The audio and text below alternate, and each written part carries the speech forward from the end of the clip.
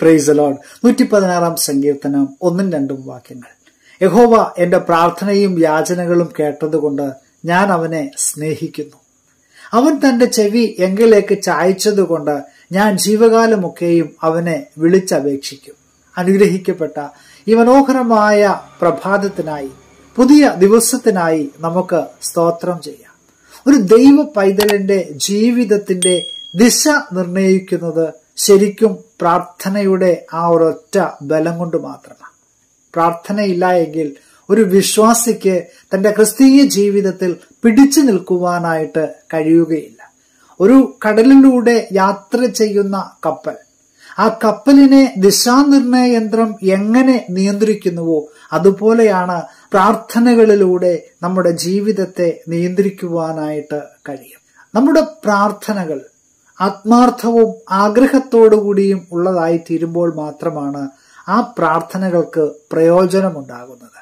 അതുകൊണ്ട് നമ്മുടെ ജീവിതത്തിലെ ചെറുതും വലുതുമായ എല്ലാ കാര്യങ്ങൾക്കും പ്രാർത്ഥനയോടുകൂടി അത് ആരംഭിക്കുമ്പോൾ അത് അനുഗ്രഹമായി തീരുന്നു നാം രാവിലെ എഴുന്നേൽക്കുമ്പോൾ രാത്രി കിടക്കുമ്പോൾ നാം യാത്ര പുറപ്പെടുമ്പോൾ യാത്ര കഴിഞ്ഞ് തിരികെ വീട്ടിലേക്ക് എത്തിച്ചേരുമ്പോൾ നമ്മുടെ ഓരോ നിമിഷങ്ങളും പ്രാർത്ഥനകളിലൂടെ നമ്മുടെ ജീവിതത്തെ ഒന്ന് നിയന്ത്രിക്കുകയാണെങ്കിൽ ശരിക്കും അതിന്റെ അനുഗ്രഹം നമുക്ക് മനസ്സിലാക്കുവാനായിട്ട് കഴിയും. സാധാരണ നാം യാത്രയ്ക്ക് ഇറങ്ങുമ്പോൾ മാത്രമേ പ്രാർത്ഥിക്കാറുള്ളൂ.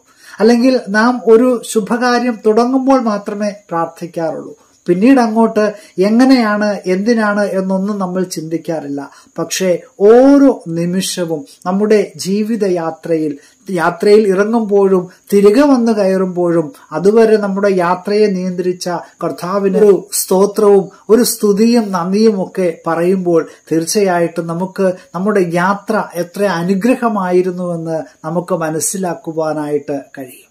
വിശ്വാസവും പ്രാർത്ഥനയും പ്രവർത്തനവുമാണ് ഒരു ദൈവ പൈതലിന്റെ ജീവിതത്തെ എപ്പോഴും പിടിച്ച് നിർത്തുന്നത്. നമുക്കറിയാം പ്രയത്നിക്കാതെ അല്ലെങ്കിൽ പ്രവർത്തിക്കാതെ വെറുതെ നമ്മൾ പ്രാർത്ഥിച്ചിട്ട് കാര്യമില്ല.